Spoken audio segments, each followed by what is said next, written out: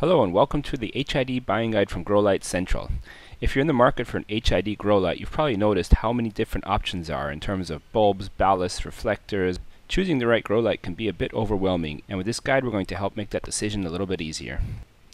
In this guide we're going to look at a couple of key decisions you need to make. The first one is deciding between MH or HPS, then choosing the wattage, then deciding whether you want single or double-ended bulbs or reflectors, and then choosing a reflector style.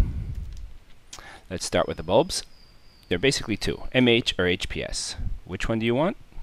Do you see the hint there? Use both. You get the best results if you use both an MH bulb and an HPS bulb throughout the whole grow.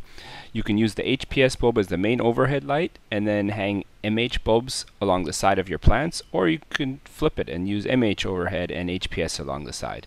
Either way you get the best results using both bulbs throughout the whole grow.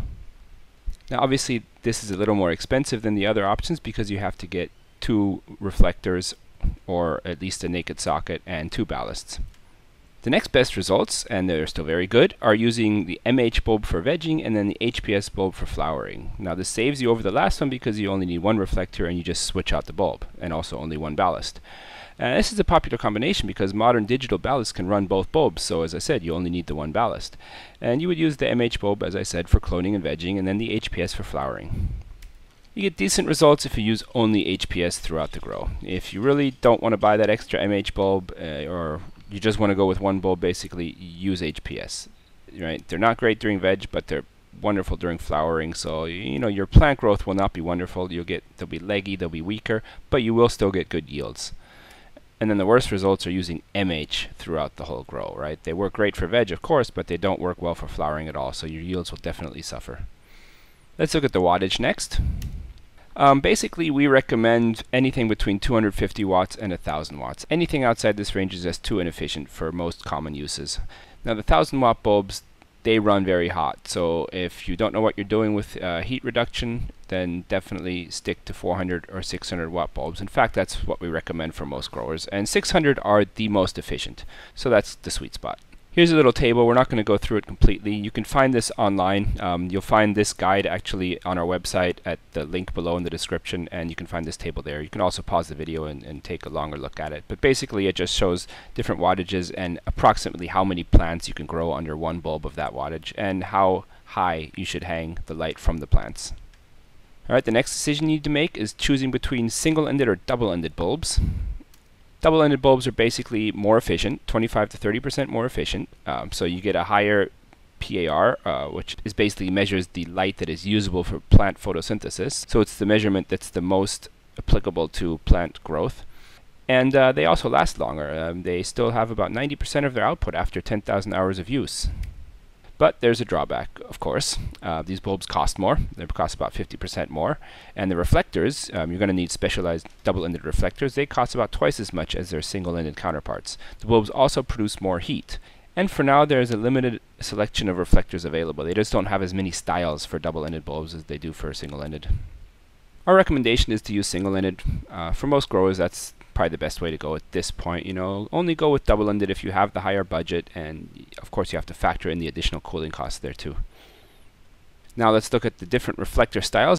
Basically, most reflectors do the job, and the differences aren't really that big. So this is not as critical as some people would have you believe. But each style does specialize in a certain situation. So if you have a certain growing situation, there might be one reflector that's a little better for the rest. And so the key is to find the reflector that's best suited for your grow space. And that's what we're going to help you with now.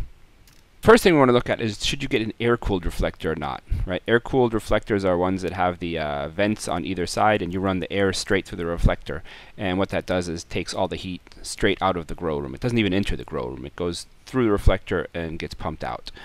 The thing is, these are really only good for small enclosed spaces because, uh, the, first of all, the glass in the front, it reduces the output and also the UV light from the bulb. The other thing is you have to use ducting to connect the different reflectors to each other and then to pump the air out. And that ducting becomes warm, obviously, with the hot air going through it. And that radiates into your grow room if you have a lot of ducting. And in a large space, you would.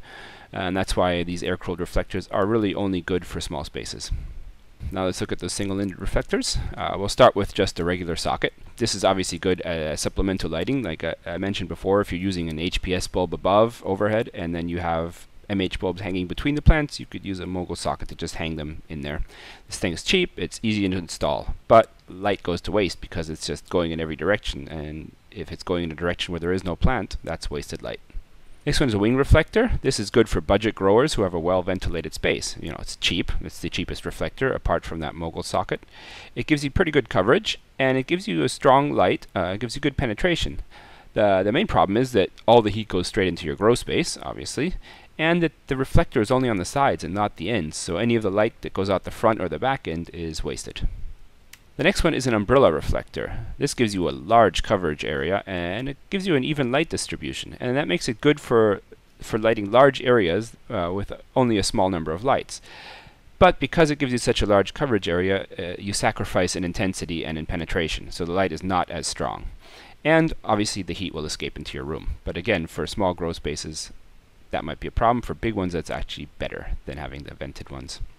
Alright, the air-cooled tube reflector. Now this is an air-cooled reflector obviously, and this is good for budget growers in a small space, right? Because it's the cheapest air-cooled reflector, and it's small. You do lose a lot of light though, because as you can see the reflector is actually pretty small on it, so a lot of the light just goes out the sides. And it only gives you a small coverage area too.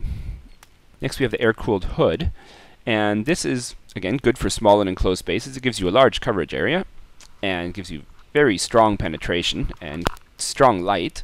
It is the most expensive reflector, but it's the one we recommend for most home growers because it's uh, very efficient. You don't lose a lot of light, and uh, if you have a small space, then the vents are good. You know, you can get that heat out of your space.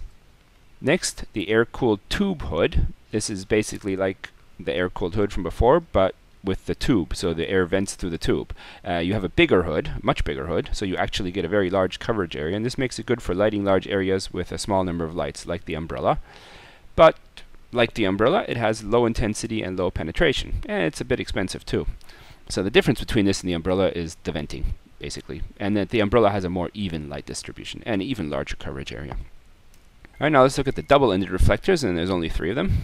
First one is a wing reflector. Uh, basically, it has the same advantages and disadvantages as the single-ended wing reflector. It's the cheapest double-ended reflector. It gives you good coverage, good intensity and penetration, but the heat escapes into the grow room and the light escapes out the front and the back. Now this is again good for budget growers with a ventilated space. Uh, here we have a XXL hood. So this is a large hood. It gives you a large coverage area and like the other large hoods and the umbrella, it's good for lighting large areas with a small number of lights but it also sacrifices in intensity and in penetration. It's also pretty expensive, and this one is not vented, so all the heat will escape into your grow room. And finally, the double-ended air-cooled hood reflector. So this is a large reflector that covered with glass in the front, so it vents the hot air out of your grow room. It gives you a large coverage area, and it gives you intense light and a deep penetration, but it's very expensive. This is the most expensive reflector. Okay, that's it. Um, if you have any questions or comments, please leave them in the comment section below. Our website is growlightcentral.com. You can browse for some of these lights there. And as I mentioned earlier, in the description below, we have a link to this guide on our website. And in that guide, you will find uh, links to all of the products that we mentioned here. And that guide is also updated more often than the video. So, you know, if you're watching this video in a year or two after we posted it, uh, it might be a good idea to check out that guide and see some updated recommendations and maybe some new reflector styles in there. Thank you for watching and happy shopping.